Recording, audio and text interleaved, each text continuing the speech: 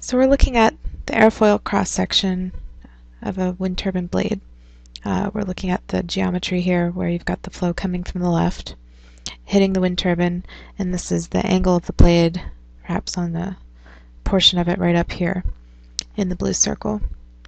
And the resulting torque is what drives the rotation of the wind turbine, and the thrust is what bends the blades back towards the tower, so we want to minimize that.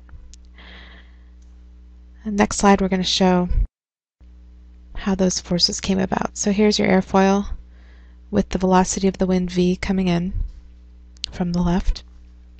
The airfoil, the blade is moving straight down.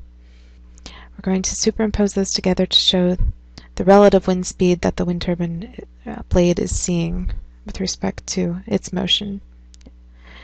And perpendicular to that relative wind speed is going to be the lift force and parallel to it and acting against it is the drag force. The resultant of these forces is the total force, which has a component in both the u and the v directions. Now the component in the u direction is going to be your torque and your momentum operating in this direction. So this is causing the rotation of the wind turbine and then your component in the v direction is your axial thrust. So this is the component that was bending the blade back towards the tower.